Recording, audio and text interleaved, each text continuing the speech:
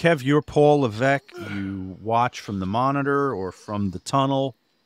Um, how do you feel after last night's return to the Garden? Um, well, I mean, the, the what what I heard was, and, and the numbers have been all over the place, but when they uh, said that uh, Phil was going to be on the card, anywhere between four and eight thousand tickets were were, were sold.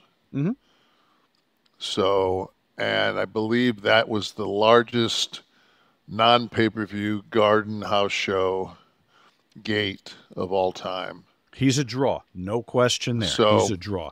How do you feel after the match? He definitely paid for himself. I think that he draws. I don't think that, uh, and it, as you said, he draws, and it's not like he's not going to get better every time he goes out there. You know, Could it be a Hogan situation where it's just the ceremony of seeing Hogan, seeing the leg drop? no, because the- Hogan was the- bigger than life. Right. Is is he at this point? No, Okay.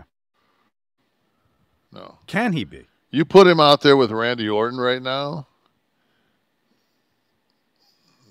I'm not talking about physical size. I'm I'm just talking I- about that's what I'm talking bigger than life. Okay. Bigger than bigger than life is that you're you're, you're one of the reasons he, he he's he I think he uh, registers so well with everybody is because he's he's the every man.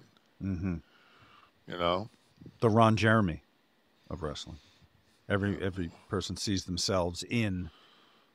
I don't know about that. Ron Jeremy, the fucking hog on him. Yes, he- I don't think anybody that- looked at Ron Jeremy and said, "Oh yeah, that's me." No, but the, his type, his his everyman type. Uh, you know, it wasn't some I that- statuesque model type guy with that. What the the hog made up for it? Is- No, I, I, I don't. I don't think you ever get my comparison things very well. Like you, you, you, you I couldn't get you. I couldn't get you to, to come across the line on that Booker T thing last week. You wanted me to pick the black guy. I wasn't going to do it on the air. God damn it. Um, I, well, it was. I mean, it's just like, what do we got here? Here are the most recent poll strangers.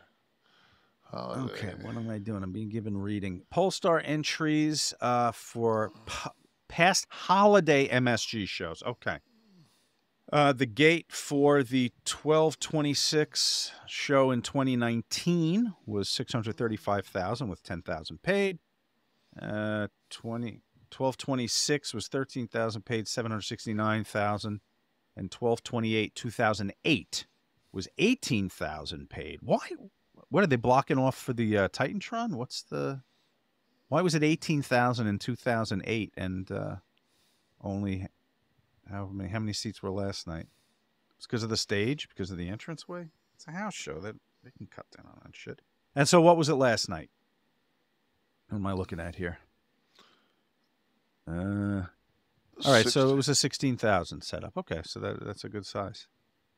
And uh, what did it do in uh, in gate? tickets distributed was fifteen five six nine.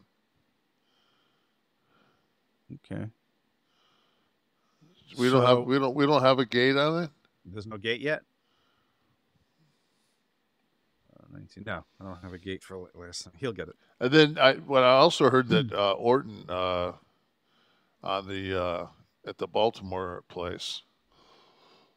I don't know whether is that the Baltimore Civic Center. What it's that that damn place is so old. The fucking uh, Elvin Hayes shot jump shots there for the Baltimore Bullets. Is, it still the Civic Center from yeah, yesteryear? with wow. the with the with the stage at one end.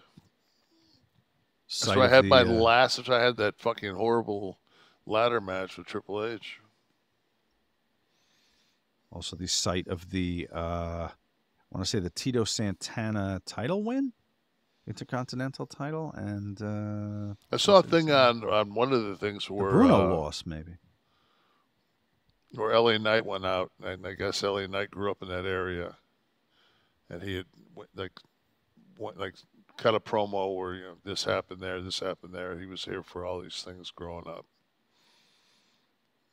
Talked about the NWO power bombing, or me and Scott power bombing uh, Bischoff. He was there for that. Yeah. So you got a good, you got a really good response.